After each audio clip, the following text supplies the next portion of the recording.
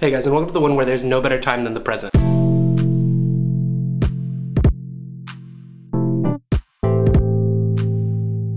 Alright, so I was gonna film like a proper vlog today, but then today happened and I didn't film anything. So I'm just gonna film a quick video here talking straight into the camera like I do. So the thing that I wanted to talk about today, and one of the things that kind of came up in my mind when I did the live stream with Chris Sean uh, on Monday, is that there's really no better time to start doing what you're passionate about than now. I made a video last week about time management and I've been talking a lot about trying to get better at code and trying to get writing done and working on these projects that I have uh, going through my brain all the time.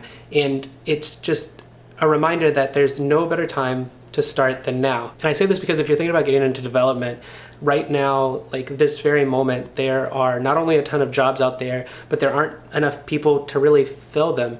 And I don't know when that bubble is going to burst. So if you're thinking about coding, you're thinking about wanting to get into it, you've messed around a little bit, or you just like the idea of building cool stuff for the web or for computers, then take a deep look at your situation in life right now and see if it's something that you can fit in there. The easy decision is always going to be I can start tomorrow because tomorrow never comes, right? Like that cliche. It's easier to tell yourself that you're going to wait another day or another week to start because that doesn't put any pressure on you to actually do the thing that you want to do.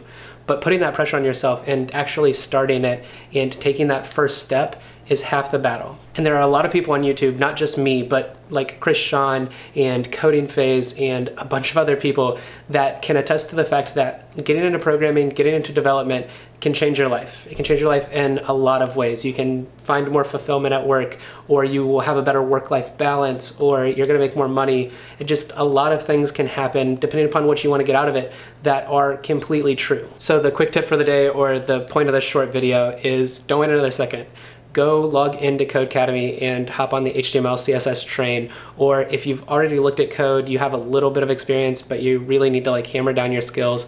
There's a link to Treehouse below. It's an awesome way to learn how to code. Uh, you can click that, take a free trial, see if you like their teaching style. If you don't, there's thousands of other resources. There's YouTube tutorials. Uh, Udemy runs a great website that has topics on everything from code, uh, web development, game development, business stuff, uh, growth marketing kind of things for like starting a company, just hop on to what it is that you want to do, like what your goal is for 2017 to get into the industry and just do it. Just take that first step. The longer you wait to take that first step, the longer you wait to learn how to make a header in HTML or to change font size in CSS is another second closer to you not doing the thing that you want to do. And I know that there's a lot of information out there and it'll be overwhelming and it can seem like this is a never ending process or that you'll never end up understanding what it is that you need to understand to be able to get a job as a web developer or whatever it is you want to be.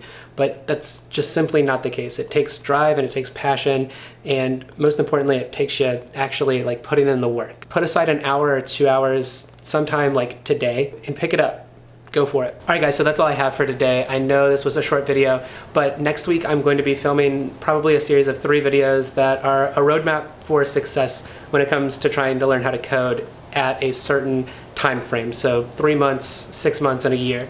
So if that's something that you'd be interested in, feel free to hit the subscribe button down below and get notified when those videos come out. If you liked this video, please feel free to hit that like button because they make me smile. And if there's anything else that I can help you with, or if you have any questions on how to get started, anything like that, feel free to click the comment button and leave me a line down there, or you can send me an email. It's aaroninbeta at gmail.com. Once again, and as always, thank you guys for your support, and I will see you again soon. Bye.